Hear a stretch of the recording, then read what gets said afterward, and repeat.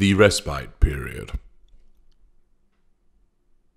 The dynamic which occurs between a narcissist and the intimate partner, primary source, boyfriend, girlfriend, husband, wife, cohab partner, means that when the sustained devaluation occurs, and that always occurs with an intimate partner primary source, there will also come with it the respite period.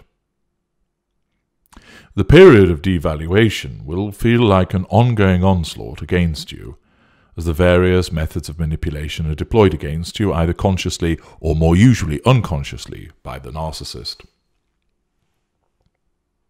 It cannot be an unending assault, for no matter how tempting it may be, to keep exacting the negative fuel from you as a consequence of your tears, your fear, your frustration, your anger, there is only so much that you can sustain before you decide that enough is enough, and therefore you escape us. Bringing about such a swift cessation of our primary source, of the prime aims, is naturally contrary to our needs, and therefore the abusive regime must be rationed in order to provide for the maximum return. Furthermore, if we were to maintain a permanent state of abuse against you, with a sustained devaluation period that had no respite, then we would also bring about your failure to function as a reliable appliance far sooner. Of course, this does happen with regard to certain dynamics, but it is relatively unusual. Either you would break under the onslaught, or you would eventually become desensitized to it, and no matter how hard we try to up the ante, it wouldn't have the same effect.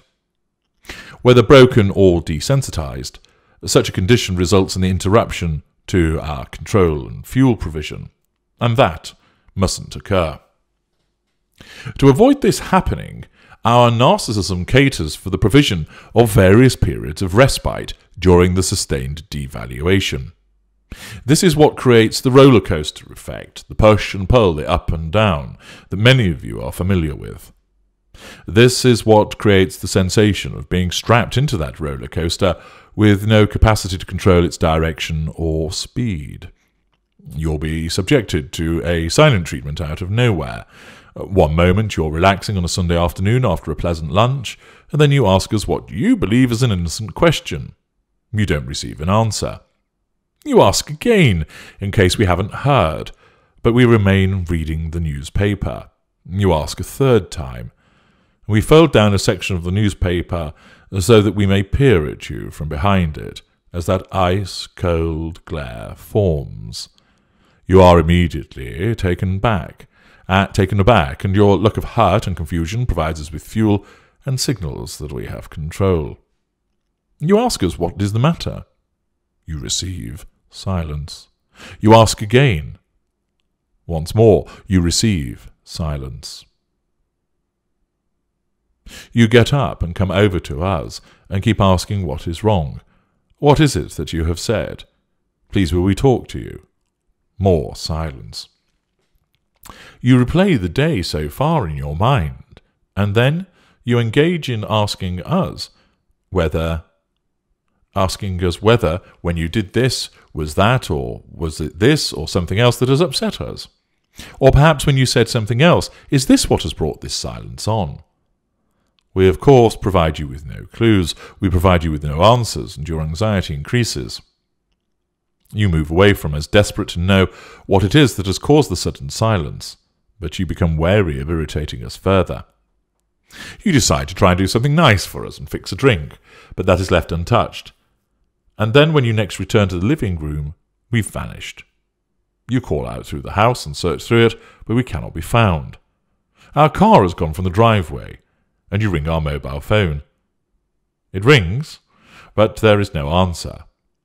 You keep trying, and you also send text messages, but there comes no response. This lasts a day, possibly more, and throughout this, your anxiety and worry has heightened. All the while, we receive fuel, we're asserting control, and, invariably, we'll be cultivating a secondary source in our absence. We then walk back into the house, maybe hours later, possibly the next day, and act as if nothing has happened, and smile at you. We are able to do this because of our compartmentalization. Unbeknownst to you, you threaten the narcissist's control, which resulted in the imposition of a silent period, silent treatment, and an absent one. It started as present, but the all continued badgering of the narcissist, the provision of fuel, albeit by challenge, by keep asking the narcissist what was wrong, resulted in the narcissist then shifting to an absent silent treatment and through withdrawal asserted control over you that way. The narcissist then, in essence, forgot about you and focused elsewhere with regard to the gathering of fuel. Of course, your telephone calls and texts caused you to come back on the radar, with the result that more fuel was received and the narcissist asserted control over you by continuing to ignore you. Thereafter, the narcissist returns, and control is understood to have been obtained, and your earlier offence dismissed, forgotten about, it has evaporated. You, of course, are relieved when the narcissist returns, and we see the relief flood across your face and the tears of joy welling in your eyes, and yet more fuel is provided to us. We hold out our arms, and like the child being granted access again to a once angry parent, you dart into them, the surge of emotion rippling across you as you feel relieved, delighted, and happy. This cessation of the silent treatment, or any other form of abusive manipulation that we deploy during the devaluation stage, doesn't end there. We take it further. We now give you the respite period. We grant you a return to the golden period, albeit briefly, so that not only are you relieved that the horrible silent treatment has ended, you become elated that this wonderful period has returned. We treat you like we once did during the seduction, telling you how much we love you. We perhaps buy you a gift. We help out around the house and arrange to take you somewhere special for dinner. There's no silent treatment, no insult, no nasty words. You do not fully understand what has happened in terms of why we have suddenly become nice to you. And invariably, you might think perhaps he feels guilty about the way that he was treating me. Perhaps he just needed some time apart from me and he's been able to work a few things out. I'm not going to question it. I don't want to spoil it. I don't want to cause a problem. I want to be able to enjoy the fact that he's being nice to me.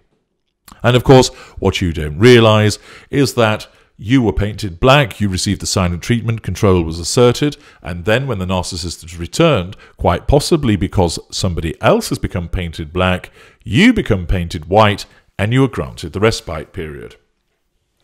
Understand that it is only the greater narcissist and the ultra that will consciously ration the abuse to ensure that you're pushed to the edge but not over it.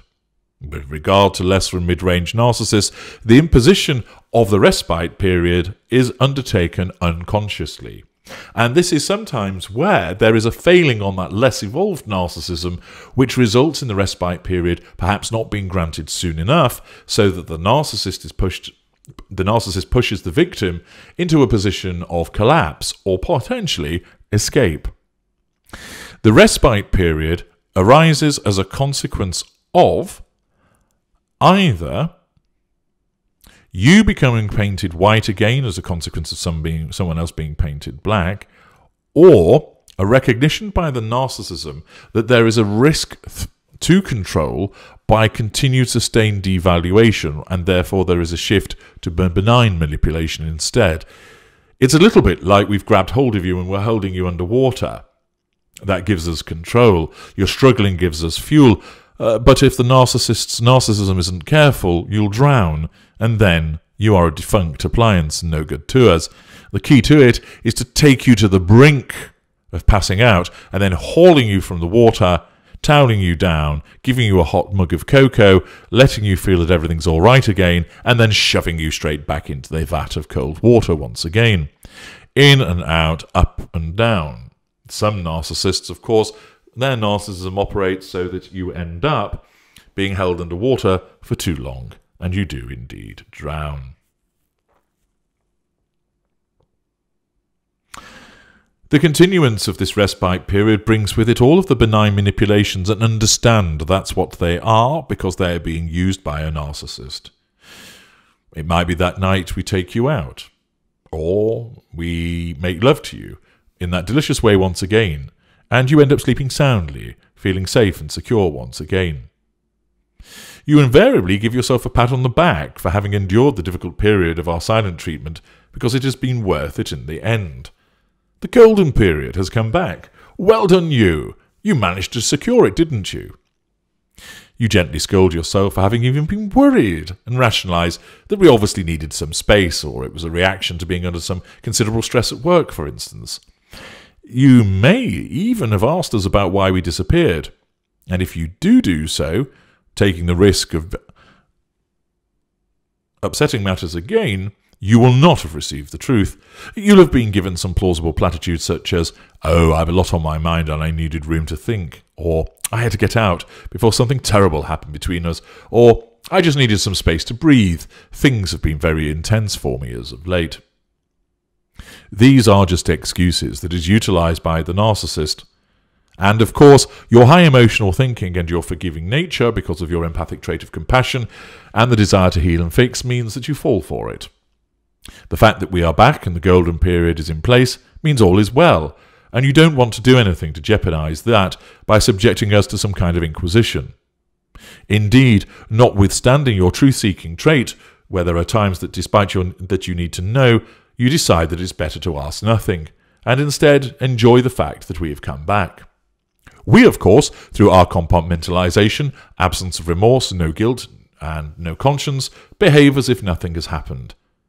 Peace, of course, is so much better than war, and you're perfectly content to accept the fact that we behave as if nothing has occurred because it is such a golden peace. Whether it is the silent treatment, shouting at you, criticizing you, intimidating you, messing about with other people, or all of those things, we will call a halt, which to you there seems to be no logic to with regard to the devaluing behavior as and when our narcissism sees fit, and in so doing, we temporarily end the awful treatment by providing you with respite. The respite prevents you from upping sticks, it prevents you from failing to function, it maintains a source of fuel, it allows us to assert control. This respite provides the contrast so that the positive fuel arising from your joy, delight, and relief is powerful indeed. It also provides the contrast for when the devaluation will commence again. It's the peaks and the troughs, the ups and the downs. Moreover, this act of apparent kindness, and is one which is scattered throughout the devaluation period as a whole, continues to bind you to us. You feel relief. You also know that when the abuse begins, that if you just hang in there and try to work things out, the golden period will invariably come back once again, and you just have to wait and keep working hard to recover it. You are duped into thinking that its restitution is as a consequence of your clingability and something that you have done to please us. It is not. It is down to our decision, governed by factors that I've mentioned earlier. You may, as, you may as well roll a die, and the numbers will equate to the number of weeks of abuse that you'll endure before we switch and provide you with such respite. Just like the terrorist who takes civilians hostage and frightens and beats them, he will then show an act of kindness by allowing the captive to shower or to make a call to a relative. The captive then feels warmth towards their captor, despite what they are doing to the captive overall, and this engenders hope. Another misleading manipulation that this small act of kindness will be exhibited if the captor is kept on side. You are captive to our narcissistic wiles, and just like a hostage, you will await these moments of tenderness, kindness, and the return of the golden period. You will do what you can to keep us on side, so that they can return, because we have imbued you with the hope, which is another form of manipulation, that the golden period will return. Accordingly, you are controlled and bound to us. And this will allow us to continue the extraction, extraction of fuel. This has to happen, for the contrast is required to allow the devaluation to be protracted and to continue to provide further fuel. You are duped into believing that you can influence us to cause the restoration of the Golden Period and keep it in place. You cannot. The respite that is provided is as a consequence of our needs. And the reality is that it will only ever be a brief period of rejoicing. It might be a day, it might be a week, it might even be a month, but it will end and you will return to devaluation. That is the dynamic between narcissist and intimate partner primary source during the sustained devaluation period. Devaluation, respite. Devaluation, respite. And then this will either continue until you or the narcissist die, you escape, or the narcissist disengages from you. I'm H.G. Tudor. Thank you for listening.